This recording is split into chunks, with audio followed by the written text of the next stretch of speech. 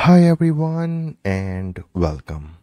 In this video we will see how you can write or update single holding register value of your Modbus TCP IP device from the Node-RED dashboard. Okay, so if you want to control your holding register values from your Node-RED dashboard then how you can do that. So that thing we are going to cover in this video. So here you can see we have opened ModSim software and using this software we are going to simulate our Modbus TCP device okay? So if you want to simulate modbus tcp device then all you have to do is click on this connect.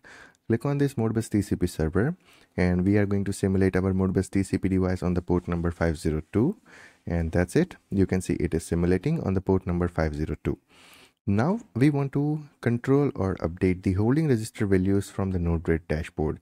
So here you have to select the holding register. Okay? And then after we can go to our node-red flow. And here we will first take the slider to uh, change the value of this holding register. And then after we will take Modbus write node. Okay? So these two things are enough to control this holding register. So I'm going to connect this two node. Okay? And I'm going to place this slider in the default group. And we are going to control the holding register 0 okay? So that's why the label is holding register 0 and also in the name we will set holding register 0 and the maximum value we want to set for the holding register 0 is 200 so that's why maximum 200 and we want to send the output when we will release the slider. Okay so that's it. Uh, we can click on done and that's it for the slider. Now in the modbus write node we have to specify a few things where we are going to write the data on which holding register we are going to write the data. Okay so everything we have to specify in the modbus write node. So if you double click on this modbus write node then we have to specify all those things here. Now the first thing is unit id so we are going to connect with the unit id 1 device. So i have to specify unit id 1 i'm going to control or update only one holding register at a time. So here in the function code i have to select preset single register only okay so function code 6 i have to select because we are going to control only first holding register. Now which number of holding register we are going to control? So it's a zeroth number or it's a very first holding register. So that's why we have to put the address here okay?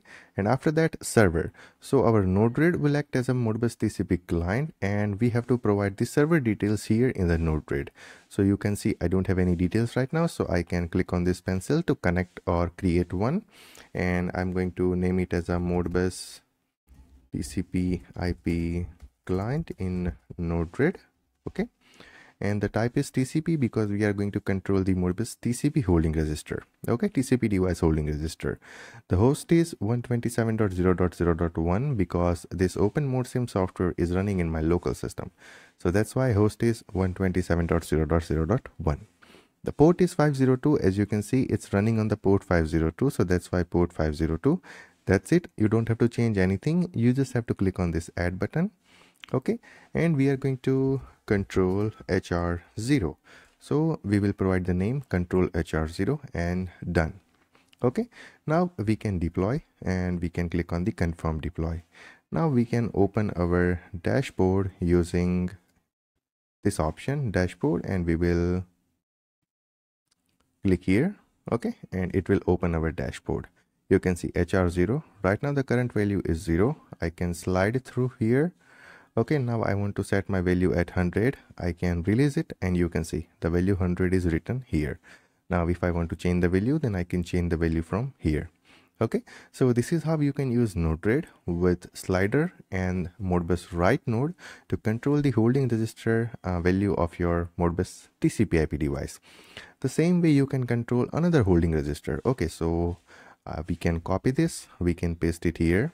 Okay and we want to control the holding register 1 then I can you know rename this uh, slider. Okay and for holding register 1 we want to set the maximum value to 100 okay that's it. And in the control hr0 we have to rename it as control hr1 because we are going to control the first holding or you can say the second holding register. Okay starting with 0 it will be uh, second holding register. So here in the address we have to provide 1 okay and again we are going to control only one holding register at a time so we have to select the function code 6 and the same uh, server connection we are going to use here. I don't have to change this and that's it. I can press on done. I can press ctrl d to deploy my flow and that's it.